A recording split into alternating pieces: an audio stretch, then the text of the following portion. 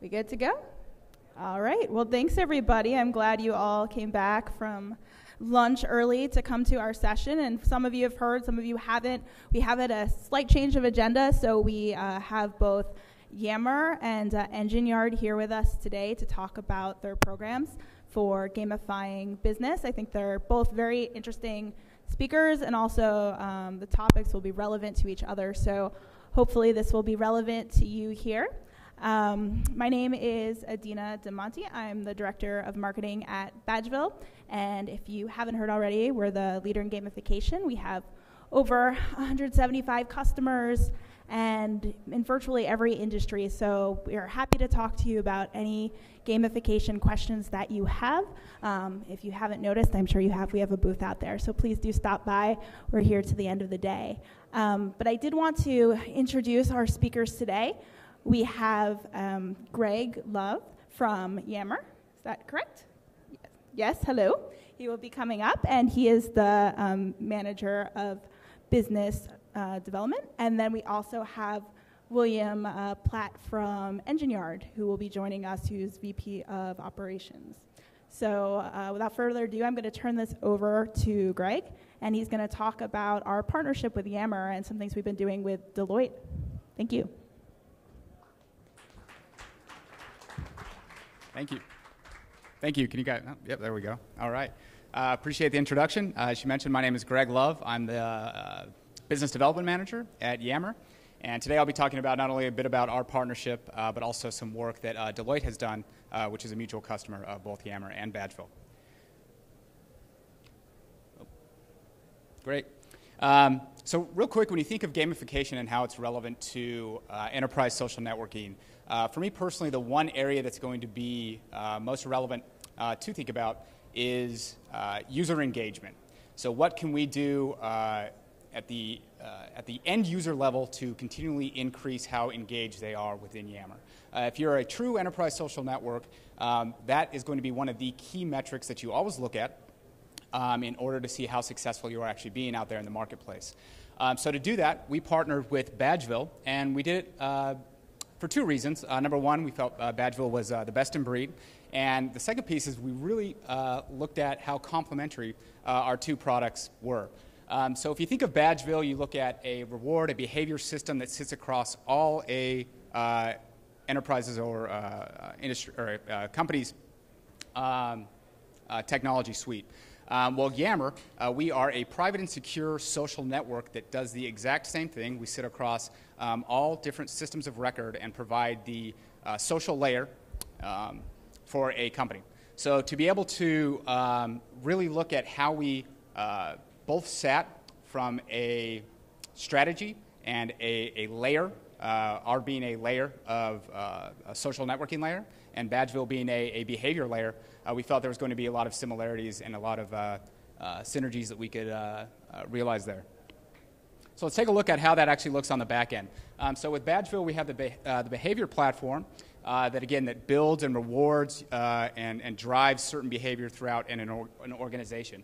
So whether that is going to be across your, an organization's system of record, so we look at data management systems, CRM, ERP, human resource tools, uh, well, the same could be said as the, at the Yammer platform. So again, we are able to hook in to all technologies and all applications throughout a, uh, an organization's uh, technology suite and technology landscape to provide that social element. Um, and it plays really nicely. So anytime that a uh, organization has set up Badge, uh, Badgeville in order to uh, reward and drive certain behavior in these different silos, um, these different systems of record, that information gets pushed back into Badgeville where a badge is actually created.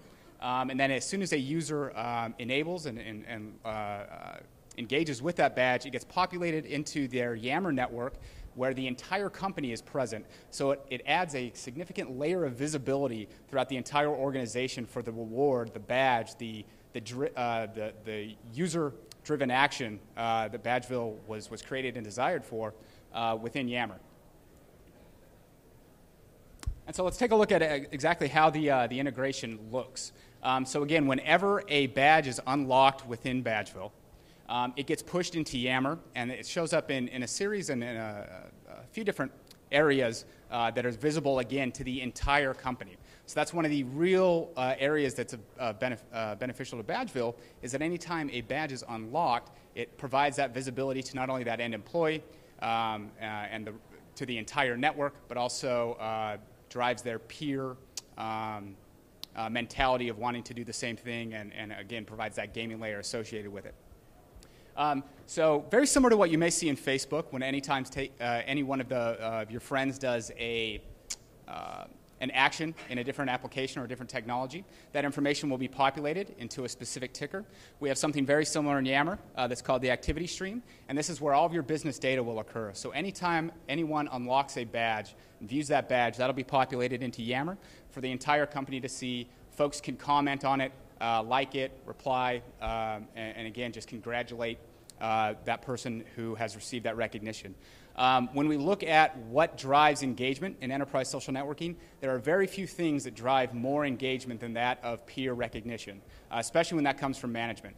Um, so, again, that's one, one, of the main reasons why we thought it was so compelling uh, to bring gamification uh, with our partnership uh, with Badgeville. Um, so a theoretical example here, um, you have a support application, for example, maybe a Zendesk. Um, the behavior uh, uh, that is going to be rewarded is if somebody can uh, uh close 10 support tickets in a day. Um, that user uh, does that, it gets published into the Yammer network, provides, again, visibility throughout the entire network of what that support uh, person has done, where folks can engage, and it, and it, provides that motivation to their peers to do, do something similar.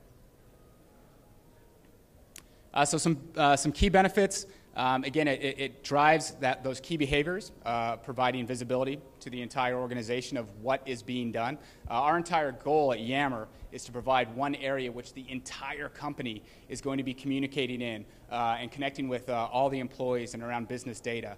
And we want to unlock all of the things that are occurring within an organization. And Badgeville and the badges provided um, by the behavior platform really enable that area. Um, again, you get visibility into achievements and awards, and it just moves the needle on uh, business processes.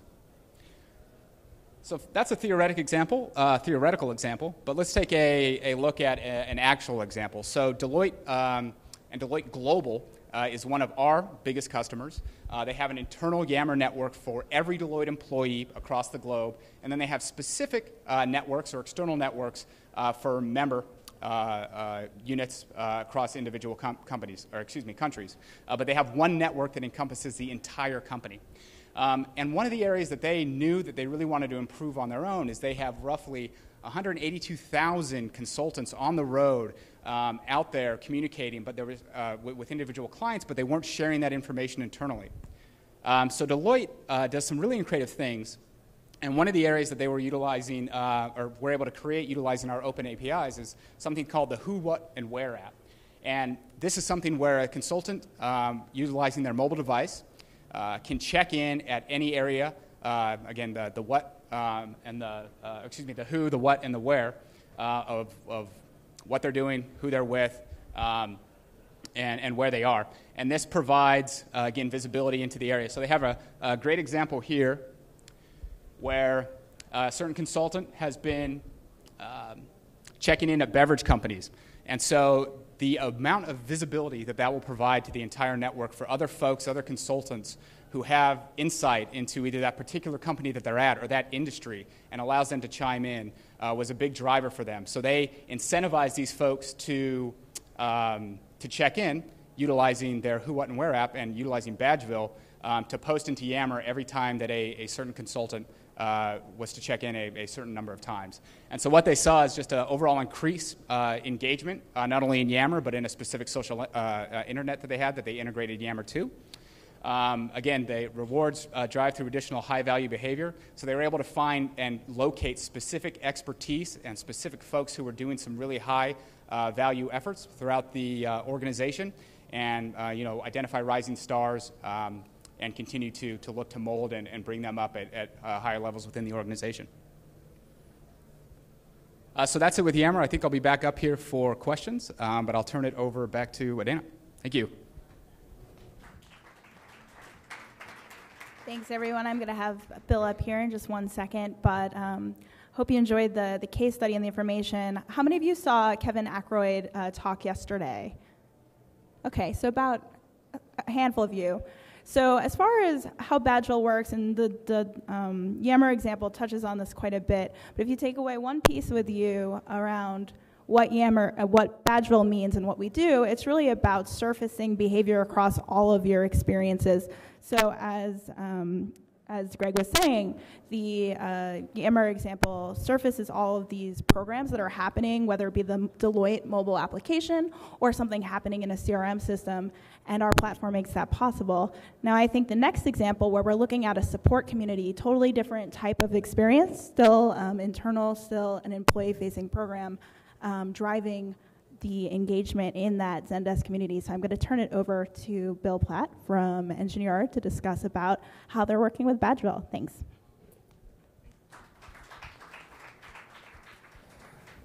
Thank you. So, um, based on what you heard and you know about Yammer and you know about social networking, um, at Engine Yard, we believe we're living in an era that is driven and owned by users. And if you even question that, you can just think about how Apple actually took over the end user business of computing. They focus completely on users and making those users have a great experience. And in so doing, they've actually captured many markets, more markets than they even intended to. And so we really believe that. And so our users at Engine Yard, what Engine Yard does is we make a platform as a service and other companies run their businesses on our platform. And that means that our users are under tremendous pressure. I'm talking about real time pressure. They have to have uptime, they have to deliver their applications to their users. And because of that, our users started talking to us. And we talked to our customers a lot, and our users were saying to us, You know what problem we have when we work with you? We need to find the things that we need. We need the answers to things very quickly. We need to make sure that we're not wasting time waiting on you for answers to questions that we should be able to find. We need to help each other. We're users who know that there's another guy in the world who does exactly what I do, and I'd really love to learn from him. And because those users spoke so loudly, and a very specific example of that speaking loudly, because I have to open disclosure, Badgeville is actually one of my customers. Okay, and if any of you know Jimmy or Wedge from Badgeville, so they came to my office one day and they said, We're your user. And you know what I hate? I hate that I have to wait like a day just to get the answer to something that I think you already have someplace stored up in your knowledge base or in your answers to some other customer. And so I said, I think you're right. I think we need to fix that. And so we started looking at what is the behavior that happens on our website? What actually happens, and how often do people find what they're looking for? How often do they get where they want to go? And we had an earlier support example, which is sort of an internal based one. Ours is actually external. So what we did was we, we took the Badgeville gamification platform, we connected it up with our Zendesk customer service platform, and we exposed the whole thing externally. So our end customers are actually both giving us feedback. And by the way, we measure every transaction with our customers. They're giving us feedback, and they're also utilizing now the Badgeville beha- behavior recognition and behavior gamification platform to help us be certain what they want, and they also get to get recognized for what they learn and how fast they are at what they do. So it's really simple. A lot of our folks that are our customers. They're very technical end users. They may have non technical end users, but they're very technical. And at the end of the day, developers are lazy. Okay? They're just lazy. And so anything that shortens the time for them to get whatever it is they want done, they love. And, um, you know, you can see here, here's a picture of our showcase, right? And, you know, believe it or not, all of those things we were talking about, you know, how complete you want to cover the, the, the activities on here, all of those things represent things that we want people to do because there's so many different types of users when you're when you're in a community. And there, there's a lot of benefit to people who just tell each other what is good by using the like button. That actually is really useful data. And there's a lot of benefit to people who actually create topics, but there are very few people who do that. So you, we looked at how do we re- recognize and reward folks who want to do these things. And so we built out this suite of things that, that we know people tend to do when they come to a community website or when they come to look for technical answers. And we started recognizing them. And if you want to know about the speed thing, the, the, here's, here's a piece of data that, that we've gathered. Over the first two months that we started using the gamification integration with Zendesk and then put that all in front of our customers, the percentage of time that a user found what they were looking for within one minute went up 240%. 240% improvement in somebody finding what they were looking for within one minute of coming in and starting to search. That is exactly what we were looking for. Because that's exactly what Jimmy needs. So Jimmy needs to just get to the information he needs, get his problems fixed, find the answers, and or contribute to the answers. And that's what we've been able to do so far with our. Uh, and so, inside those activities, inside the, oh, I, I want to like something, or, or hey, I have something to contribute, we've created some missions, right? And as you go through those things, you can earn additional badges. So you go from being a student to being a scholar, right? If you like to find bugs, you can, you can go from being a lightning bug to being a fly swatter, right? And you know, you think, oh, those sound like silly terms. They actually really matter. Spend a, it's worth spending the time in the process the Badgeville people take you through. It's worth spending the time to, to figure out how do you want to say these things and what, how do you want to represent your company.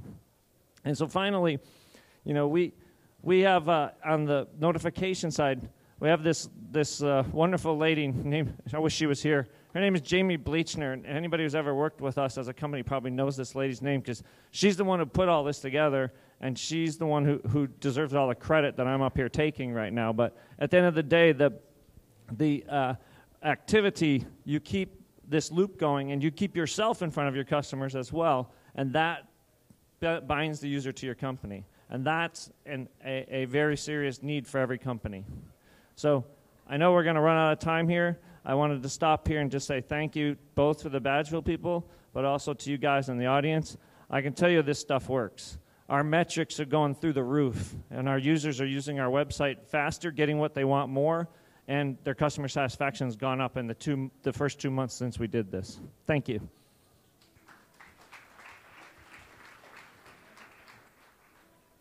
So we have time. Oops, is this working? Hello? We have time for some questions, so I'm going to invite um, both of our speakers back up, and please do feel free to ask questions. I have a couple I can throw out if no one has them, but I want to make sure that you all have a chance to ask both uh, Yammer and uh, Engine Yard about their programs. Any questions?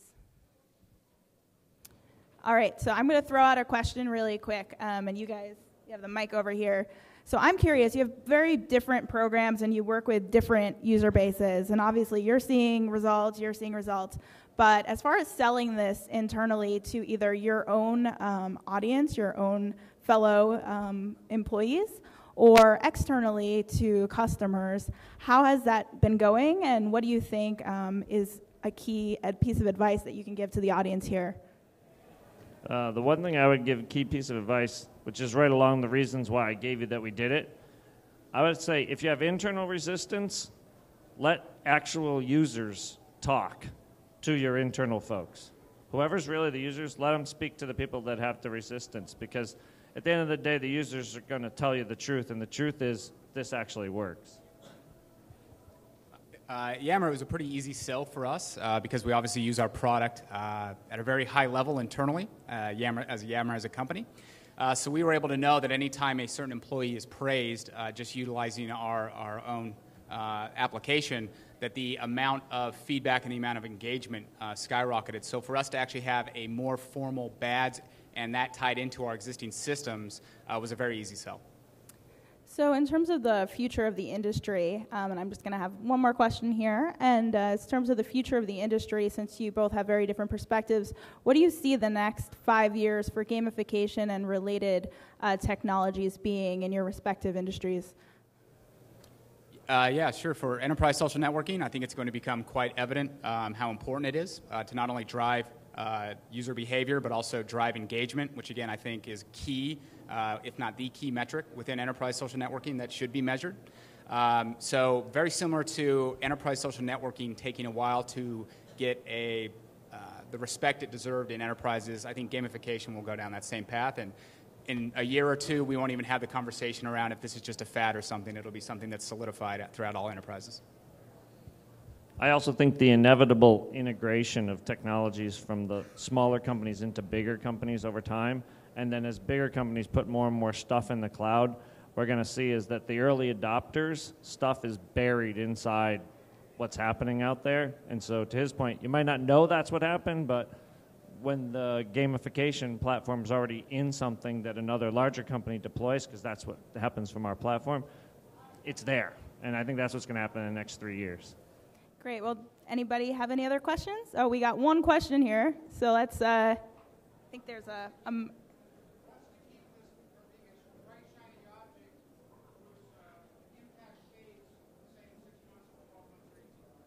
So the question was, what's to keep this from being a bright, shiny object where the impact fades in six to 12 months? Uh, my answer to that is um, what we're doing with it anyway, it's highly data driven.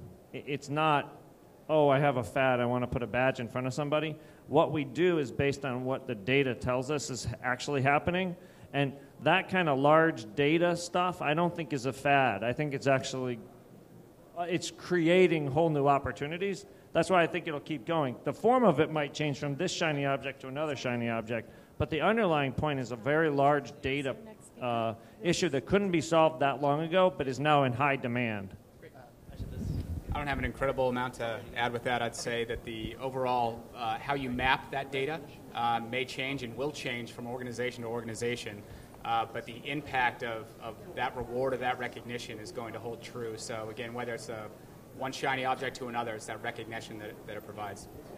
All right, thanks for that question. It's a really good question. We're going to wrap up, but please do feel free to stop by the Badgeville booth, and we'll be happy to talk to you more. Thank you. Thank you, guys. Thank you very much. Uh, that was great. Badgeville also won one of the uh, first GSummit awards last night, so stop by and ask them about that as well. Thanks a lot, guys.